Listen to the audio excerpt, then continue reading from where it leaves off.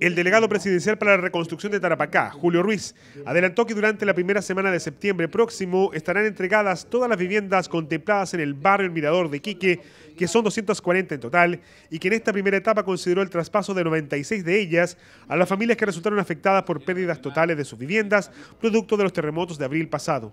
A principios de septiembre van a estar entregadas todas las viviendas de este barrio del Mirador, 240. Y en sucesivos días próximos, semanas próximas, se entregará los diversos paños y eh, especialmente, como lo hemos hecho en esta oportunidad, junto siempre a los dirigentes, a los vecinos, viendo el mecanismo de asignación de las viviendas, poniendo énfasis primeramente en las familias más vulnerables, donde haya más niños, donde haya tercera edad, donde haya familia postrada, porque aquí lo importante es cuidar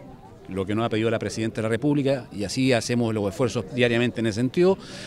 acompañar a la familia, cuidar su, protegerla y darle certidumbre en las soluciones de este tipo.